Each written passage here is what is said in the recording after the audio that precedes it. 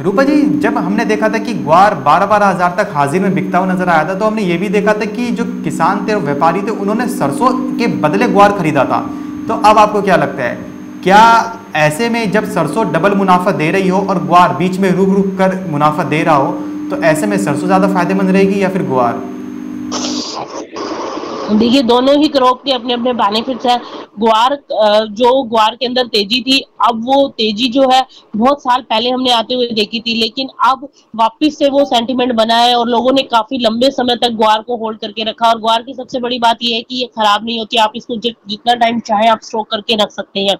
और दूसरी बात है कि सरसों के अंदर जो तेज़ी बनी, अभी फ़िलहाल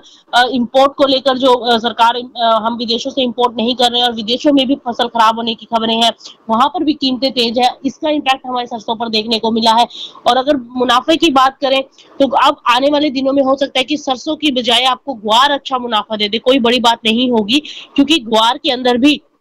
एक धड़ा जो है, अब वो बाइंग की तरफ़ लग चुका है और उसके अंदर लगातार खरीदारी आपको देखने को मिल रही है। कोई बड़ी बात नहीं होगी, अगर ग्वार दस हज़ार के ऊपर की सस्टेनेबिलिटी ले जाती है तो आने वाले दिनों में आपको बारह हज़ार से पंद्रह हज़ार के भी स्तर देखने को मिले। तो ये तो डिपेंड करता है कि अभी मार्केट की सिचुएशन कैसी रहती है डिमांड कैसी पिकअप होती है, लेकिन अभी के लिए ग्वार के अंदर तेज़ी का जो माहौल है, वो बनता हुआ दिखाई दे रहा है। अभी सरसों के कंपैरिजन में हो सकता है आपको ग्वार अच्छा मुनाफा देती हुई नज़र आए।